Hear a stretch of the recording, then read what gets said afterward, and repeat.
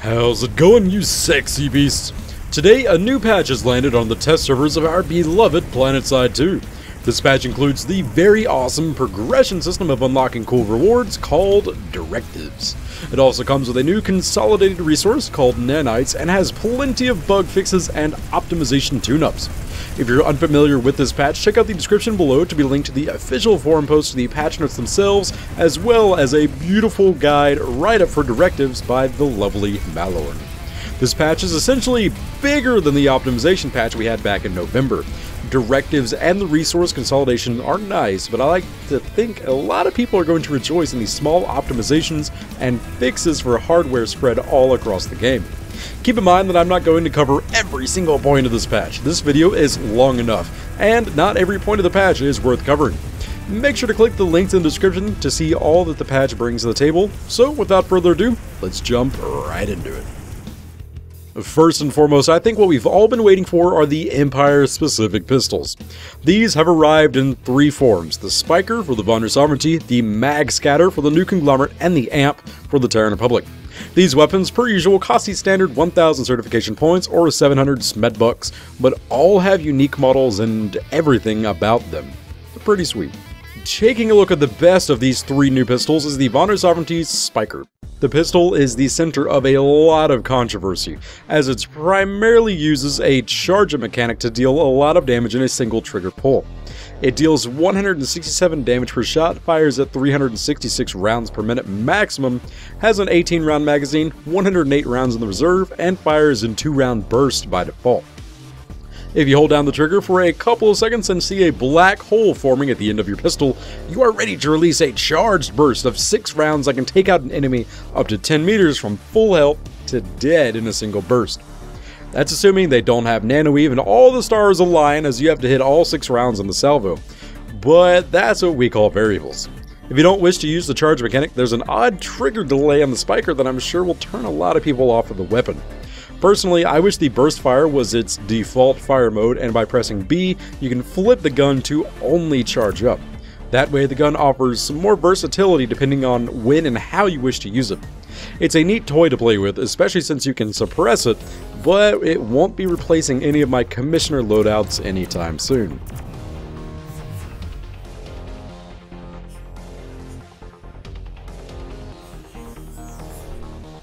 Next up is the new conglomerate's Mag Scatter, also known as the Pocket Shotgun. It's a secondary semi-automatic shotgun that deals 100 damage per pellet and fires 6 pellets for a total of 600 damage maximum per shot. It has a 4 round magazine, another 28 in the reserve, and has access to one of the new attachments for shotguns called the Smart Choke. The in-game representation is bugged at the time of this recording and is labeled the Suppressor, for the mag scatter. It's actually not a true suppressor, so don't pick it up if you're looking to have a silent shotgun. That's just not possible. The Smart Choke will make your hip fire less accurate, but tightens the spread of your pellets while aiming down sights. This shotgun is pretty poor at everything past 10 meters, and the Smart Choke is there to keep players a little more range out of the shotgun, but only if they aim down sights. Keep in mind that this pocket shotgun has some bad visual recoil, so by the time you're able to refire your weapon, the sights are not where the rounds will go. So it takes some getting used to in order to be accurate with this weapon. Using a crosshair overlay will alleviate this design flaw until it is fixed. Another thing to note, the Mag Scatter is capable of a shot knife combo, so kick some ass with it. Overall, the pocket shotty is neat, but once again, nothing I will put over my good old trusty commissioner. Lastly, we got the Terran Republic's AMP. It's making its wonderful debut. This pistol is pretty crazy. It deals 100 damage maximum, which is pretty poor, fires at 937 rounds per minute, has a 21 round magazine, and another 126 rounds on the reserve. This weapon is designed as a pocket submachine gun where its fire rate can clearly support such claims. Interestingly enough though, the stock repeater has a quicker time to kill considering you properly time your bursts. The amp, though, man oh man, the amp. Its fire rate is beautiful, but the 100 damage value of its rounds, only up to 8 meters, means that more often than not, you'll have to hit your targets with 12 rounds to down them if they have 1 point of nanoweave and are 10 meters away. The recoil on this gun is crazy. It has a insane cone of fire bloom, making full auto fire near uncontrollable without having to burst your rounds at anything past point blank. If we take it a step further and say you've engaged a heavy assault with Nanoweave out at 10 meters of this pistol, and they have maxed out Nanoweave, it will take your entire magazine of this gun to kill them. That's assuming every single bullet hits, which is pretty difficult to do with the cone of fire bloom on this weapon. Otherwise, you have to land 10 bullets to kill a non-infiltrator soldier at point blank. I'm just very iffy about this pistol. It has terrible visual recoil aiming down sights, to where the sights don't even align to where the bullets are going. The iron sights are already misaligned, even while not firing, so I recommend only aiming for center mass with this pistol, as going for the head while aiming down sights is not accurate in the slightest. If you're curious about picking this up, I'd say skip over it or at least try it in the virtual reality arena, otherwise stick with the repeater. Next on our list, and the big bulk of this patch, are directives. These are kind of like challenges from Call of Duty or assignments from Battlefield. They offer more paths to take in order to vary up your playstyle or incentivize you to use other weaponry you may not typically run with. You can access the directive sheet by pressing escape and clicking that sexy star encircled by a lovely braid. This screen is where all the magic happens. You can keep track of your progress on damn near anything you've done in game right here. Starting off, that big number at the top center are your directives points. These are essentially your achievement points, which are also shown up on the kill card whenever you slay a victim. They can sit there and see how big your EPN is, measured in directive points. Oh yeah. The three tabs on the left are self-explanatory categories, but I'll explain them for you. Where infantry means infantry, vehicle means vehicles, and weapons means weapons. The infantry tab has everything to do with playing as a particular class and their associated gameplay styles, such as getting revive and heal ribbons as a combat medic or getting repair ribbons as an engineer. Each class also has its own medals and associated with them, such as getting medals with your mana turret as an engineer. Vehicles are oriented around getting kills, having driver get assists, and getting medals with varying weapons. The weapons tab is all about the guns and getting their associated medals. A little bit more about the directives. Each tree has a total of four levels, each with different requirements. Level 1 directives require you to complete two of the objectives listed, and will reward you with 5 directive points upon completion. Level 2 directives require 3 objectives and reward 10 points. Level 3 requires 4 objectives and award 25 points, whereas the 4th level of the directive will award you 100 directive points as well as a unique reward. Every time you do something associated with a directive, you'll see a sleek progress notification pop up on the center left of your screen, letting you know you're working your way up to some sick rewards. For the infantry tree, the final rewards will yield you the solid white camouflage for completing the objectives directive, and each class specific tree will yield you a special Auraxium armor set for that class with a sweet looking animated texture. The explosives tree will net you a sick ass C4 that blows up into a supernova, and the force recon tree will award you an Auraxium knife for your faction. Each level of class directives require the same objective, just more of them. For example, you need 15 kills to complete the kills objective for the combat medic for the first level of directive, but the second level of directive requires 75 kills. Each tier is varied between classes, so make sure to have a look over every single one to see where you should focus your efforts if you want to get the most swagtastic rewards. Under the vehicle tree, every vehicle available to your faction is listed, including faction agnostic vehicles. These directives require you to complete the vehicle's associated ribbons, or weapon medals, as well as a few other objectives. For example, you can get Road Kills the Lightning as its objective, or Ram Kills of the Galaxy. Every final tier unlocked for vehicles is a directives exclusive Lumifiber trim for the vehicle you've unlocked it. You can unlock a custom Lumifiber trim for the Flash, all the way up to your swagged out Sky Whale of a Galaxy. Lastly, we're onto the weapons tab, which I honestly find the most interesting in regards to rewards. Every final tier reward for these directives awards you with an Auraxium Directives exclusive variant of a weapon available for your faction. Tier 1 directives require 2 copper medals, Tier 2 directives require 3 silver medals, Tier 3 directives require 4 gold medals, and Tier 4 directives require 5 Auraxium medals with the associated weapons within each category. The exception to these rules are scout rifles and submachine guns, where each requirement per level is reduced by one objective. Okay, Drathamus, shut up and show the Auraxium weapons. Alright, alright. Keep in mind though that I was unable to acquire any sick ass dev hacks in order to unlock the guns, so the best you can get out of me are just statistics and icons until a later date. I wanted to get these weapons unlocked on the test server to give you all a showcase, but my request to the developers fell upon deaf ears, so I'm sorry I was unable to produce a higher quality showcase.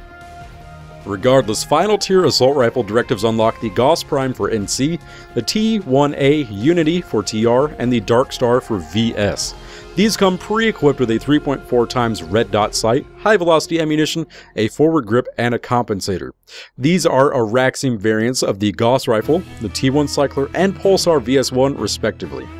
Garnered for medium to longer range engagements, these assault rifles are going to be perfect for any mid-range combat medic on the battlefield.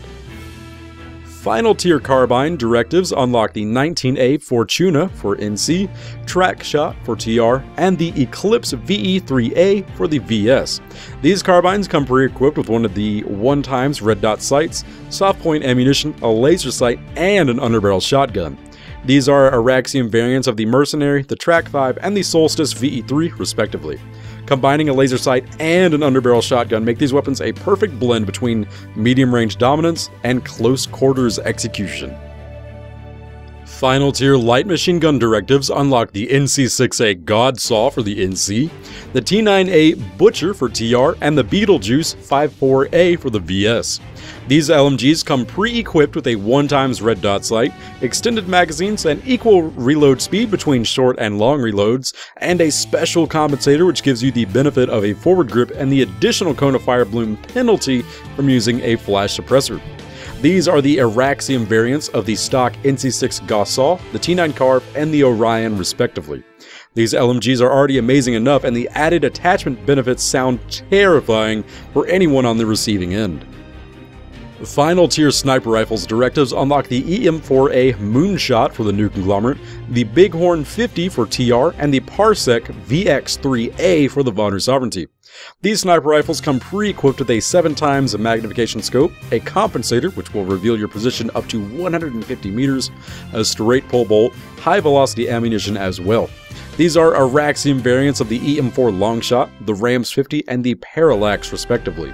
Since these rifles by default have the least bullet drop, the added high velocity ammunition will make these sniper rifles absolutely menacing on the field.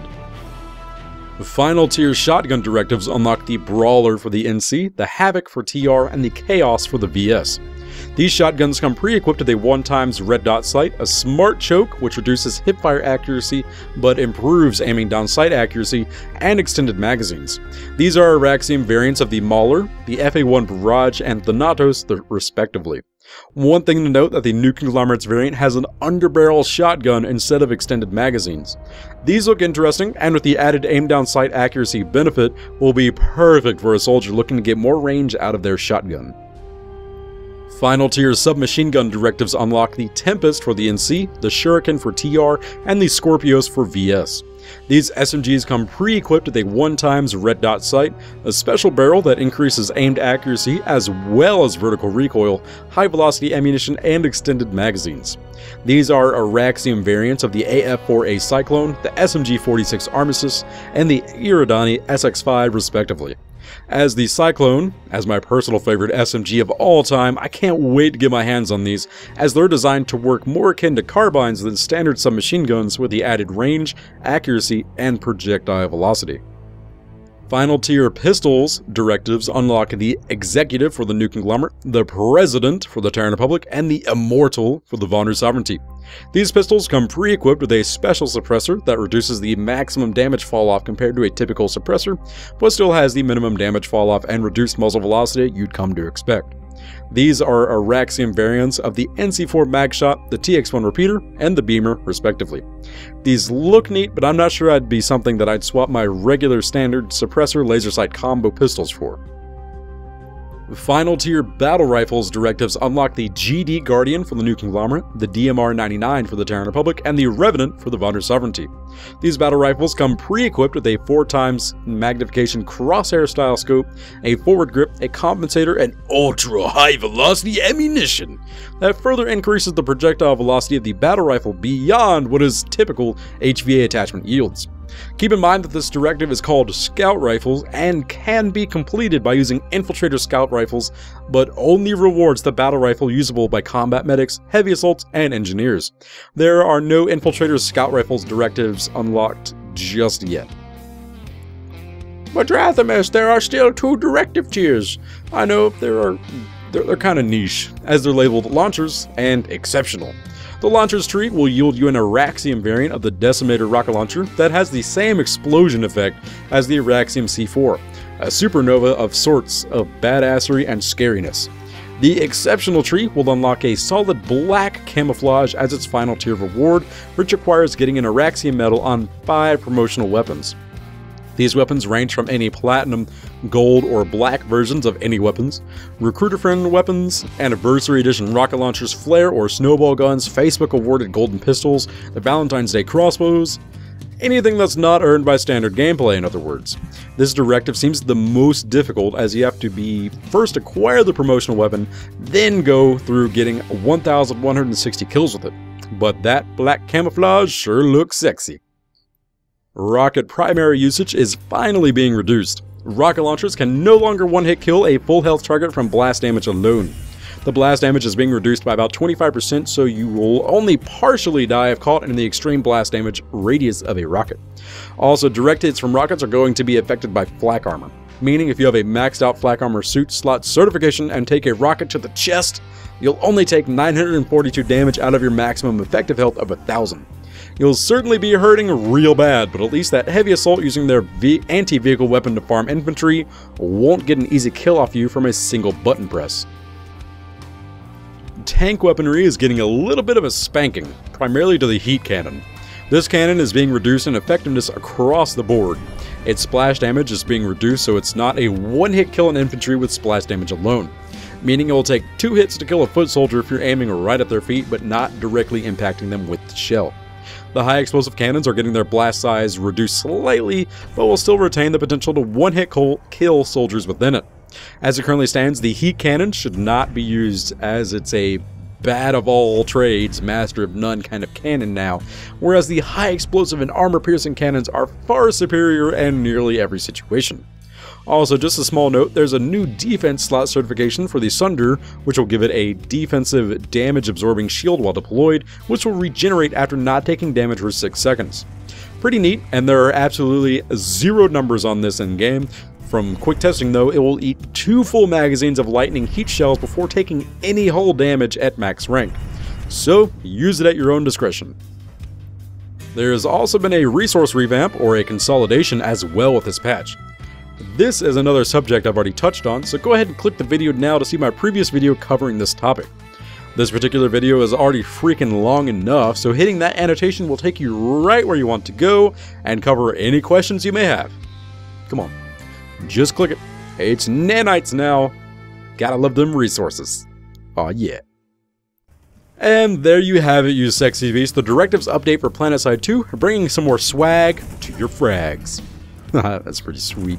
Hopefully you liked this video, and if you did, please give it a big ol' ass thumbs up.